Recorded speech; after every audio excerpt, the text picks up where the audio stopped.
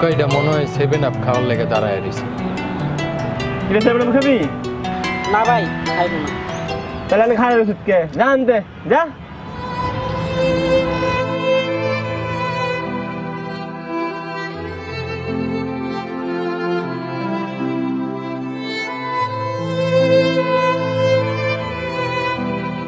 হালাই তো এখনও যায় নাই।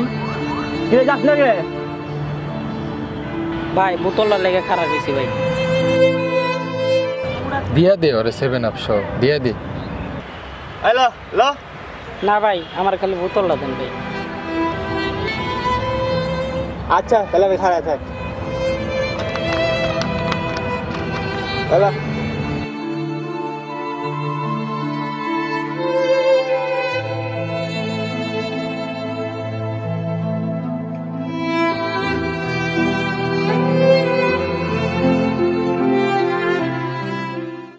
টুকাইয়ের কি বাপ?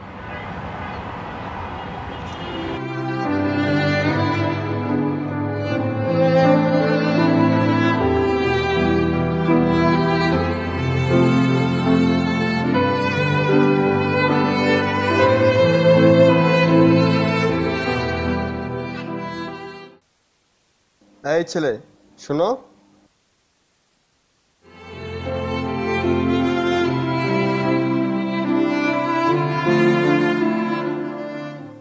কোথায় থাকো তুমি? আমার মতো টুকায় আর থাকার জায়গা কোথায় হবে? রাস্তায়? তো বাবা মা নাই? না আমার বাবা মা নাই। আচ্ছা ওরা সেভেন আপ দিতে চাইলো তুমি খাইলা নাকি? সেভেন আপ একদিন?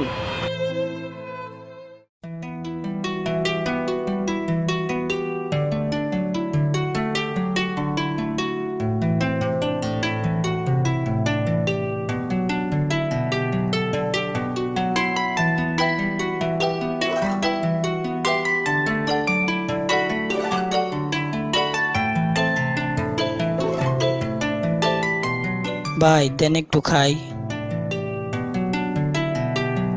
টুকাই গেলে কিছু খায়ও শান্তি নেই। জান যা যাস না কে ভাই দেন না একটু খাই খুব খিদা লাগছে ভাই। আই টুকার বাচ্চা জানতে ভাই দেন একটু খাই। যাইতে কইছি না?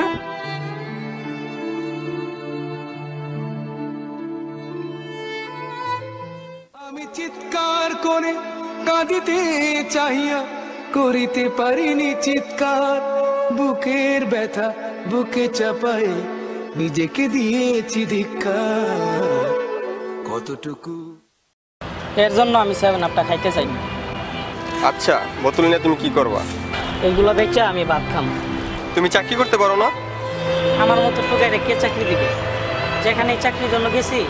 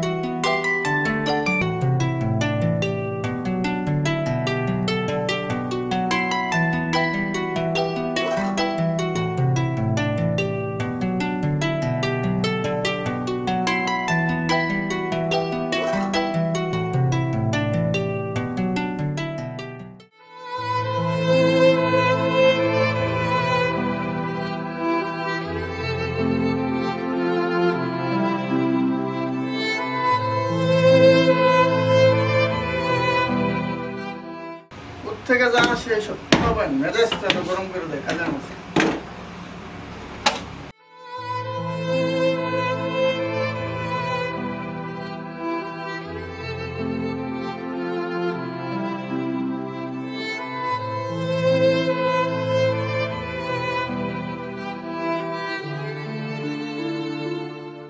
সেখান থেকে গার ধাক্কা দিয়ে বাইর করে দিছি কোনো কাজ না পায়া এখন টুকায়া খাই তুমি আমার সাথে চলো। কই যাও ভাই? আসো দেখবা।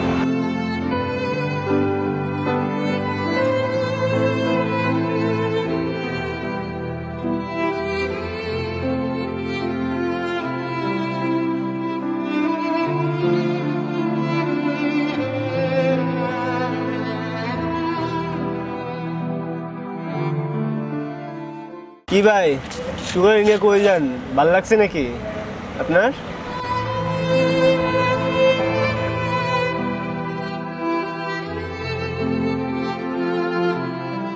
হ ভাই, ভালো লাগছে। এই যে ছেলেটাকে দেখতেছেন? ওরে যে আপনি সেভেন আপ দিতে চাইলেন, ও কিন্তু সেভেন আপ নেয় নাই। কেন আপনি জানেন? না জানেন না। কারণ, ওর ভিতরে ভয় কাজ করতেছিল। যদি আপনি সেভেন আপের বদলে গাদ ধাক্কা দেন, সেই ভয় ওই সেভেন আপ নেয় নাই। তাই ও শুধু বোতলটাই চাইছে। একবার যদি জানতে চাইতেন কেন আপনি সেভেন খায় নাই, তাহলে আমাকে এই কথাটা আর বলতেন না। হবাই ওর আমার ভালো লাগছে। কেন জানেন? ও যখন বলছিল বোতল বিক্রি করে ভাত খায়, তখন ওর আমার ভালো লাগছে। ভাই, আপনি যদি একটা টোকায়ের কষ্ট শুনেন, আমার মতন আপনাদেরও টোকায়ের প্রতি ভালোবাসা সৃষ্টি হবে। ভালো থাকবেন ভাই আবার দেখা হবে।